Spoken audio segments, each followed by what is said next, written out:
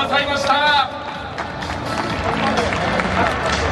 それでは開催を記念しまして青玉植樹のセレモニーを行います。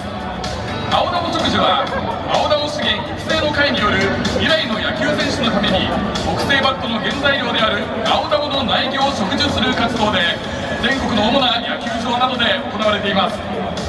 本日の青玉の苗木は株式会社マイナビ様よりご提供いただきました。それではセレモニーにご参加いただく皆様をご紹介いたしますまずはセントラルリーグ広島東洋カープ秋山翔吾選手続いてパシフィックリーグオリックスバファロー頓宮優馬選手です。そして株式会社マイナビ代表取締役社長執行役員土屋義明様以上3名の皆様です。それでは皆様にはスコップでそれぞれの苗木に最後の仕上げの土と水をかけていただきたいと思います。それではよろしくお願いします。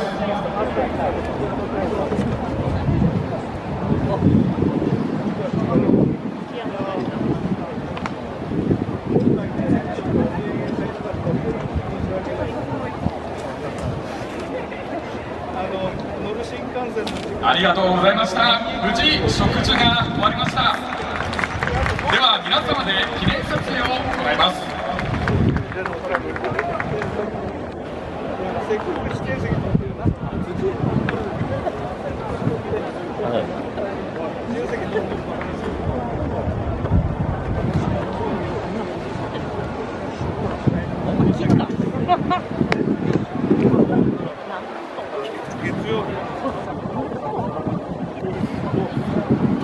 以上で青玉植樹セレモニーを終了いたします。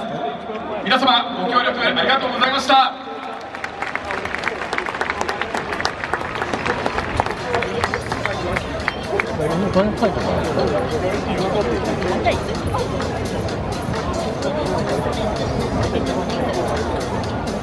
はい。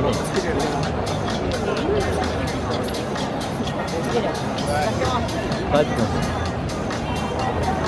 ゴミじゃんください